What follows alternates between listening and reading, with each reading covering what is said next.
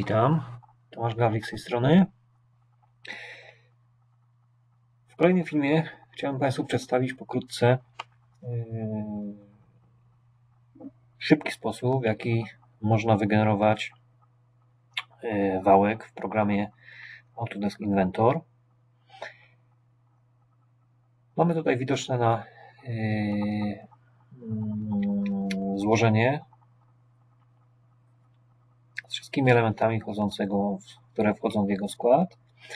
Mam przygotowany już widok reprezentacji przekroju, gdzie pokazane jest miejsce, w którym umieścimy sobie wałek, który będzie nam przenosił, przenosił, yy, przenosił napęd przy pomocy odpowiedniej tej, tej, tej przekładni pasowej z silnika na ten, na ten yy, wirnik. Przechodzimy na zakładkę mm, projekt. W tej zakładce projekt mamy sekcję przeniesienia, przeniesienia napędu i mamy tutaj opcję wygenerowania wałka. OK. Domyślnie pokazuje się ostatni, ostatnie użyta, ostatnia użyta konfiguracja. Ja ją sobie skasuję tutaj. Mieć całkowicie świeży. OK. Po uruchomieniu należy wybrać podstawowe parametry, które określą nam orientację wstępną dla tego wałka.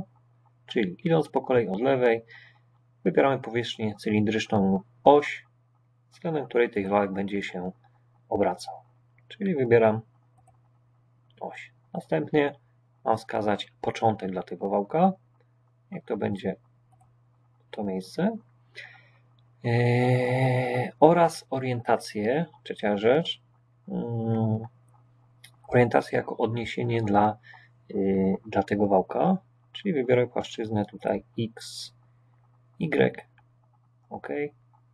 Fajek oczywiście będzie mi yy, będzie generowany nie w prawą stronę, a w lewą, w związku z czym zmienię kierunek, kierunek dla wygenerowania tego wałka. Specjalnie jeszcze zmniejszę, zmniejszę jego parametry, żeby było widać, jak on się generuje mniej więcej tutaj w tle.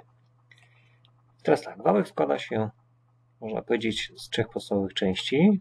Z początka, początku, ze środka oraz z końca.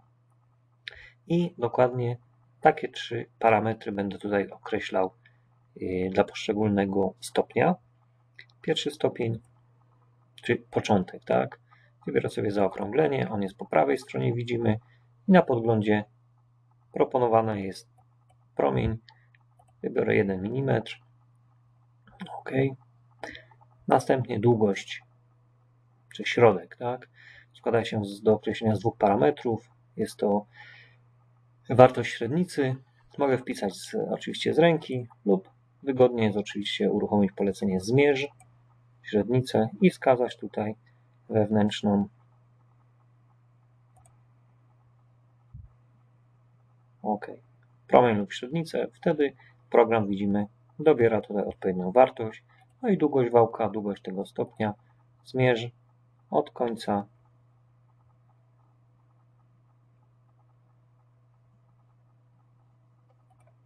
OK.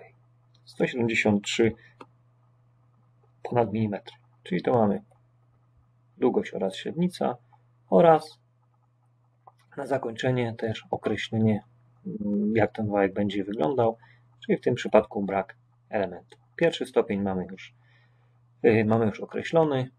Przechodzimy, wstawiamy kolejny stopień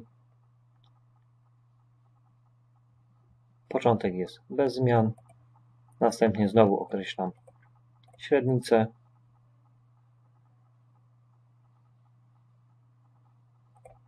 OK. Oraz długość L. Stąd. OK. Mniej więcej To powinna być jeszcze trochę dłuższa. I w ten sposób mogę ten wałek tutaj wygenerować. Natomiast ja bym chciał Państwu jeszcze pokazać jeszcze szybszy sposób, w jaki sposób, y, w jaki możemy tutaj ten wałek, te poszczególne stopnie, y, poszczególne stopnie wygenerować. W związku z czym skasuję sobie wstępnie to, co już tutaj mieliśmy wcześniej, wcześniej wybrane. Oczywiście nie będę uruchamiał od nowa.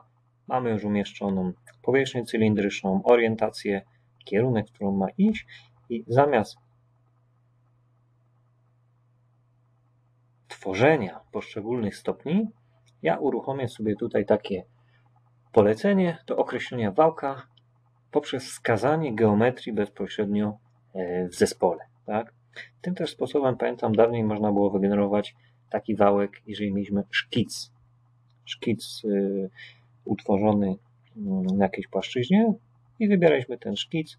Na podstawie tego szkicu był tworzony wałek. Tutaj w tym przypadku akurat wybiorę też to polecenie, ale zwróćmy uwagę, jak będę definiował poszczególną, yy, poszczególną geometrię. Yy, czyli będę wybierał poszczególne powierzchnie walcowe. Czyli zaczynamy. No, mam wciśnięte, mam.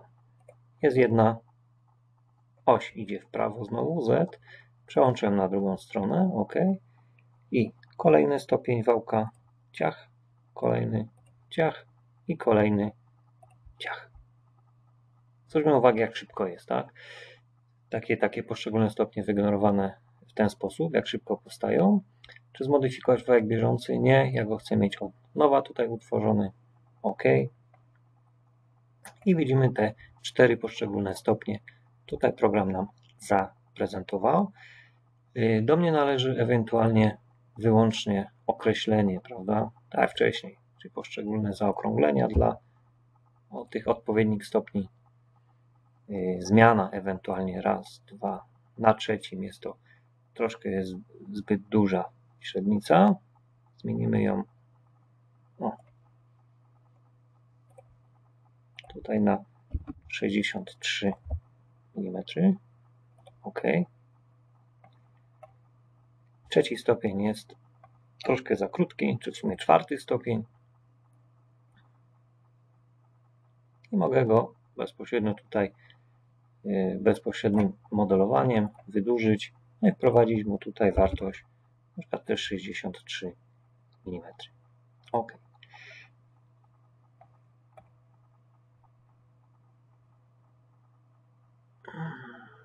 Tutaj tylko chyba nie jest. O właśnie, nie z tej strony, a tu powinno być zaokrąglenie. OK.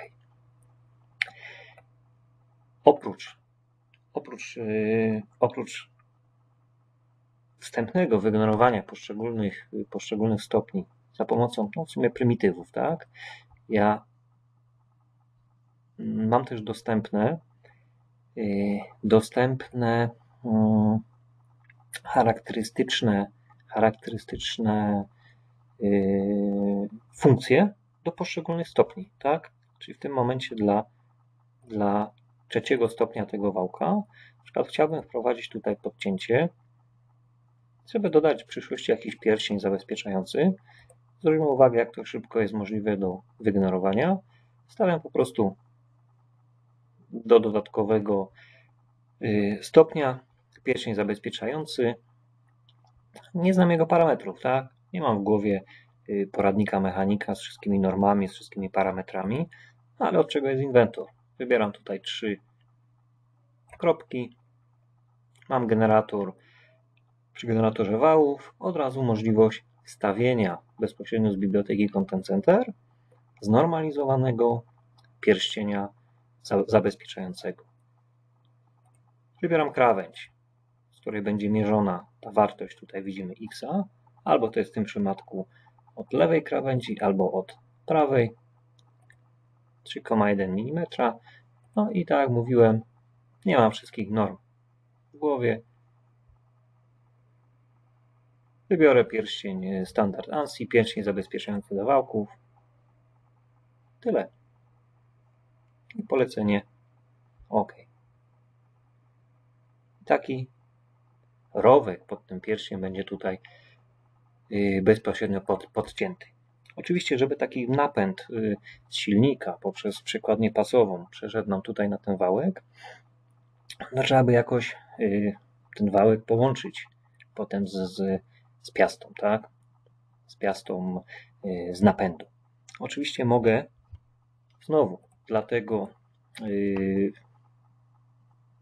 dla tego stopnia, prawda, wprowadzić dodatkowy rowek wpustowy, tak, widzimy, też normalizowany, ale w tym miejscu ja bym sugerował go nie umieszczać. Inaczej, nie generowałbym go w kreatorze wałów. Zaraz pokażę Państwu, gdzie go lepiej, bardziej sprytnie można um, utworzyć. Dlatego w tym miejscu go zostawię.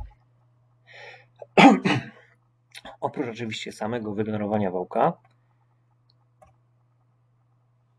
inżynier ma możliwość przeprowadzenia szybkich obliczeń, tak? Czy dane, czy yy, dla danych parametrów wejściowych ten wałek y, przeniesie odpowiednie yy, odpowiedni moment, tak? Czy nie ulegnie zniszczeniu, prawda? Czy jakieś siły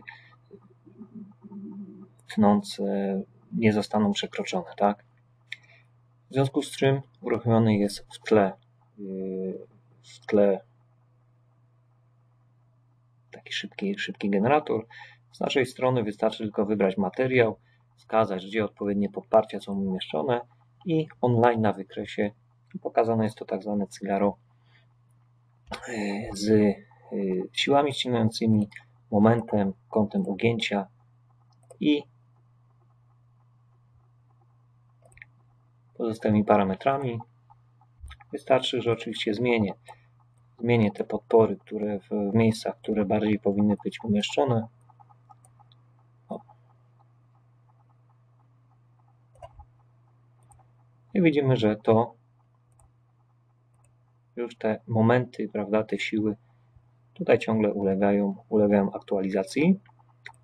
Yy, po wprowadzeniu parametrów, tak, liczby podziałów wału i tak dalej, klikamy polecenie oblicz. Jeżeli tutaj na czerwono nie, nie pokaże się nic, znaczy, że dla tych, yy, dla tych gabarytów i dla tych, i dla tych yy, materiału i, i, i, parametrów wejściowych taki wałek przeniesie, yy, przeniesie siłę i nie musimy się obawiać, że ulegnie on uszkodzeniu.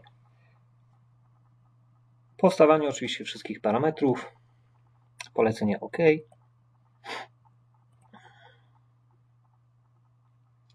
I taki wałek widzimy za moment zostanie tutaj w programie wygenerowany. Włączymy jeszcze tutaj, włączę to widoczność. OK. Widoczność tej przekładni, przekładni pasowej no widzimy, że trzeba by połączyć jakoś to koło z przekładni pasowej z naszym, z naszym wałem. W związku z tym uruchamiamy znowu w zakładce projekt. W sekcji przeniesienie napędu mam tutaj opcję wpust, tak? Kreator wpustu.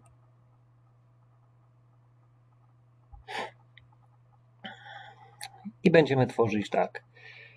Yy, na podstawie znowu wybierzemy sobie normę ANSI. Wpust niech to będzie yy, prostokątny taki kwadratowy pryzmat. Tak. Wstępne, wstępne parametry yy, dla tego długość pustu, tak. Mamy jedną średnicę wału. Tak. OK. 20 jednostek.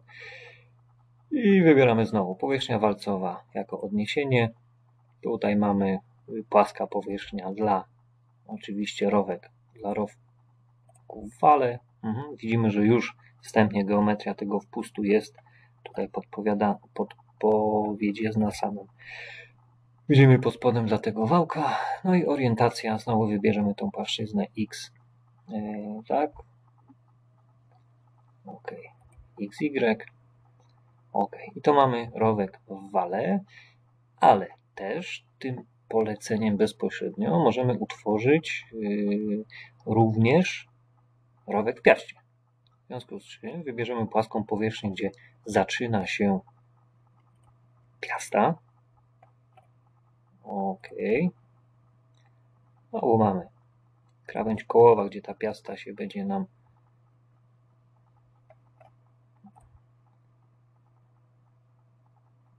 zaczynać. No i orientacja płaszczyzna, niech ona będzie się pokrywała z tą płaszczyzną wcześniejszą. No i widzimy, że zarówno hmm.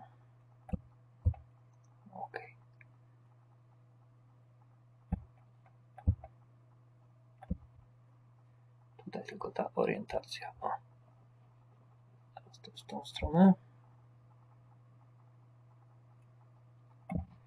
O nawałku właśnie, na wałku jeszcze zapomniałem dać, żeby był rowek zaokrąglony tylko z jednej strony.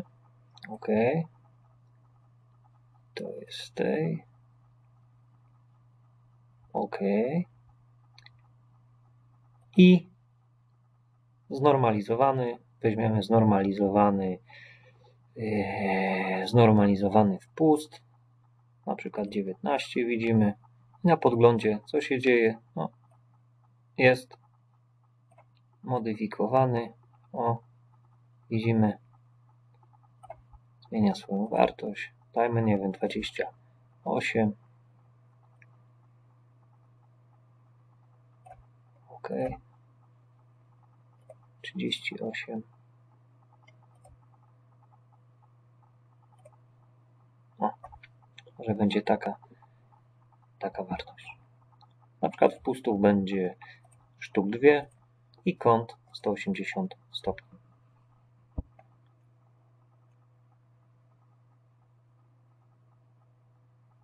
Ok, wszystko mamy, wszystko. Czyli w tym momencie powinny wygenerować się dwa połączenia wpustowe z, i od razu powinien zostać utworzony rowek w wałku, w sumie dwa rowki w wałku oraz dwa rowki w tym kole pasowym. OK. Jest. Jest. Także widzicie Państwo, w jaki prosty i szybki sposób y, można wygenerować, y, wygenerować wałek przy pomocy programu Autodesk Inventor. Dodatkowo w jaki sposób szybko można szybko można wygenerować element, y, element wpust, który to po wstawianiu od razu też, y, od razu też tworzy rowek w kole pasowym oraz w wałku. Dziękuję za uwagę i pozdrawiam.